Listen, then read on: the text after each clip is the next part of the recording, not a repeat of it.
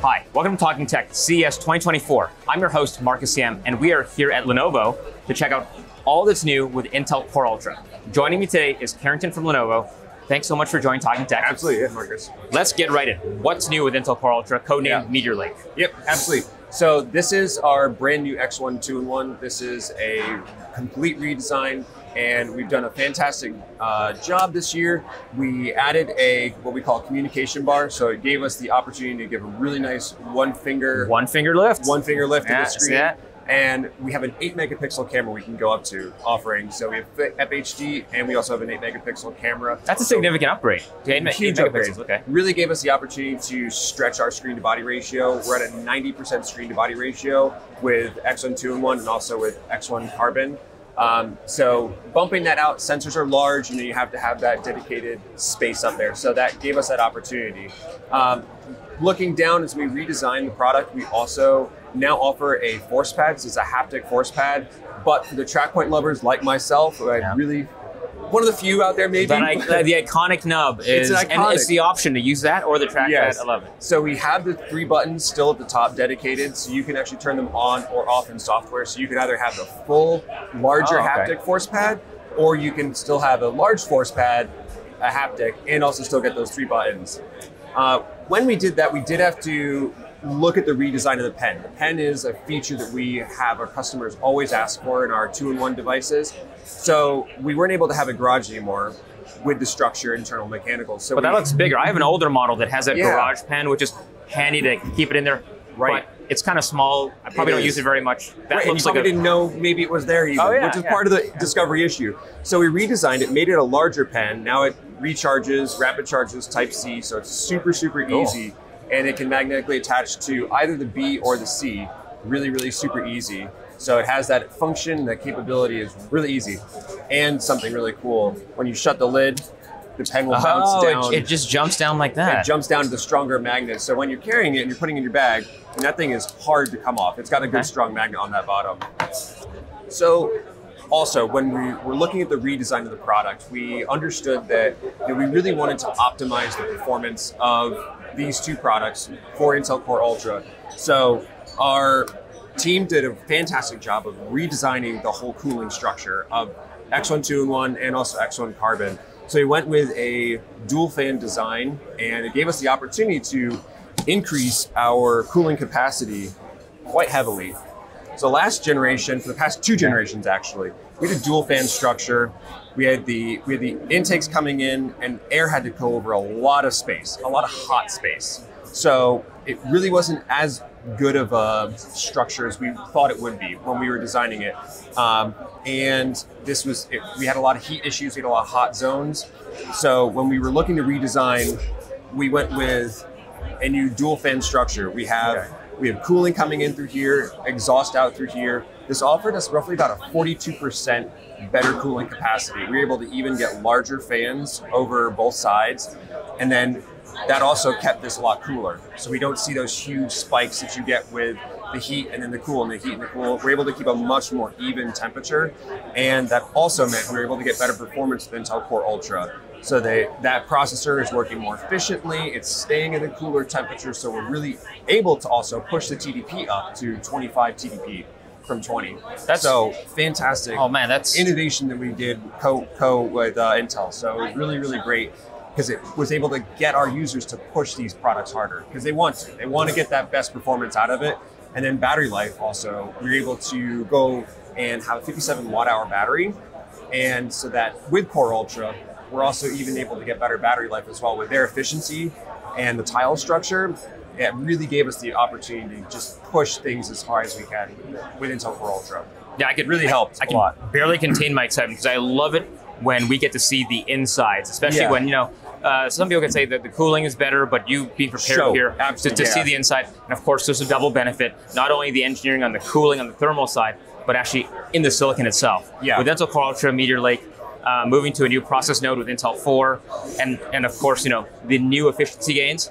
We're Yes. getting a better, more efficient cooling chip with even better cooling. better cooling and also the overall the, the structure the tile structure of uh, uh, core ultra is really fantastic because you're able with, I, with the ISV backend, all the coding that they're doing, they're able to just route all those processes to those subtiles, and it really just creates so much more of an efficient working processor. So we're excited about that.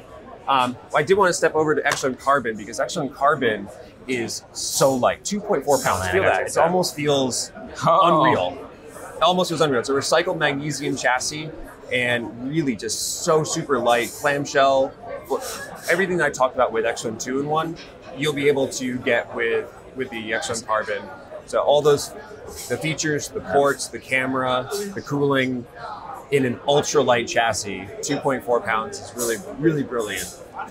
This is also the iconic ThinkPad design, It is, the right? I, black, I, I yeah. like the fact that you know the uh, the, the track point is is on these other models, Yes. but just the look, the keyboard, and the uh, keyboard is, oh. is still exactly what you know we're ThinkPad. We don't like to change our keyboard, so you know the keystrokes are fantastic. Actually, is one thing I did want to talk about um, is that we did redesign the keyboard and add additional key markers on certain keys, and we worked with the North Carolina School of the Blind to help us qualify where additional markers are. You know, you always have it on F, you always have it on mm-hmm. J, down arrow, but we added ones on your volume rockers, insert, Oh, enter, function, yeah. and that was to help our products become more accessible for everyone because that's what we that's what we want. And thinkpads actually are used a lot by people who are blind because they love the keyboard. It's a comfortable keyboard. It's a reliable keyboard. They know we're not going to change it up you know in two years for some trend. We're going to keep it we're going to keep it the way it is. Part of our esg goals are to meet those and to have our products be accessible. So that was something we did. Uh, that's going to be on x1 2 and 1 going to be on x1 carbon you will likely see it on future products with us as well That's that's great, and I know that ThinkPads are used in a lot of corporations, um, Intel included. So I, I can't wait to see uh, some of this, uh, you know, in our use and anyone else. I think these are these are fantastic. Just to recap before the the cooling Sure, improvements that, that you showed, that applies to both It this applies model to both. and that yeah, it one. applies to both. So you'll see that dual fan design on on both carbon on two and one. Yeah. So it'll be you'll you'll see it. Okay, this is a really sturdy chassis. I can now feel the difference. Yeah, uh, yeah. between, and they're between two they're mil spec tested. Just like even though it's thin, even though it's light, even though that's a two and one. Yeah, this got two in one. See. They are they're going to be mil spec tested. They're going to be durable. There's there's not a concession on ThinkPad that we take for design versus durability, and that's Oh. something that's always always part of our iconic iconic brand in ThinkPad. Well, it's going to be a great year for ThinkPad, great year for Intel, huge. Lenovo, and Intel Yes. Core Ultra. Core Ultra is was game changing when when they came to us. Absolutely game changing. We're super excited about it. Now, uh, speaking of game changing, I know there's a lineup of gaming laptops, and go Yep. check that out. But uh, Carrington, thank you so much for talking Absolutely. tech. Thanks a lot, Marcus. Take you. care, man. All right, we're here with Chris to check out gaming with Legion. Chris, thanks for joining. This looks all new with uh, Intel Core 14th Gen Raptor Lake refresh. So, tell me all about it. Yeah, you got it. So this is our Legion 7i. As you can see, it's this dope uh, glacier white color, which I absolutely adore. Also comes in Eclipse black, so we wanted to give a little bit of flexibility um, in regards to color choice. The big thing for this product this year is something called Legion Cold Front Hyper. It's our advanced thermal technology that we co-developed with Intel. Basically, if you look at the side, you'll see that there's no vent uh, for exhaust. Yeah. Normally, the fans are spinning outwards and pushing air out the side. We wanted to seal that and then redirect the air inside. So it's kind of like a turbocharger on a car to maximize the air velocity and then push it out the back. Okay. In order to do that, we had to vacuum seal that chamber. So when you look at like an X-ray photo, it'd be like orange, red all over the over the chassis. Now it's like this nice, beautiful blue, and all of the heat is maintained here. What we're able to do with that is get about 25 watts of additional power uh, Oh, when you're okay. gaming, and then also it's two decibels quieter, and then also two degrees cooler. So again, just trying to think through the logic of having a product that's you know out and about. Maybe you're a college student, maybe you're in a STEM program. You don't want this like loud jet engine in the classroom, and then going from there and just making it a super super seamless experience. And not only that, I mean, you know, thermals are very important. Um, you know, whether you're on a thin and light or even a big gaming machine like this, and ultimately, I mean, that just makes you know our chips, you know, run better, faster with thermal velocity boost, and you know, maintaining those uh, those clock speeds as well. I know that HX, uh, you know, for those who are adventurous, they can dabble in a little bit of playing with that, you know, either overclocking or undervolting, but that's often they have that flexibility. Absolutely. And one of the really cool things is also you see over here that we have a dedicated AI chip that we use to basically augment the system a little bit. So one of the things, obviously, we have the CPU and the GPU. We want to make sure that everything that's happening on screen is being tuned to get the best performance. So this is a toggleable feature within our software. You can either turn it on, you can turn it off, but to make sure that we can give, for CPU intensive tasks, we can give a little bit more juice there and bump it up even further. So again, just thinking through the logic for an end user and who's going to be in these kind of programs doing high render work, software engineering, coding, and also gaming on the side. Uh, any other callouts for the the all new design uh, this year? Oh, absolutely. The big thing is, of course, if you look at the back, because of that thermal design, you'll see that we have three vents on the side, or on the back rather. One of the things we heard from customers is, listen, the big ports, the gaudy ones, the HDMI cables, the power cables, keep those on the back. I want that out of sight, out of mind.